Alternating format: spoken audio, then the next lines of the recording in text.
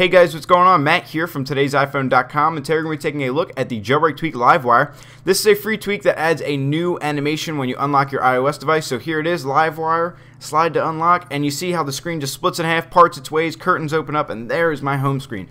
It's a really nice smooth transition, so here it is again, or animation. Uh, I really like it, and it also works if you have a passcode enabled. And it's probably one of the smoothest ones I've seen with a passcode enabled. Uh, there's a few other animations out there that when you use them, and if you have a passcode enabled on top, it's really like ugly. Um, it's just poor in its uh, animation, I guess.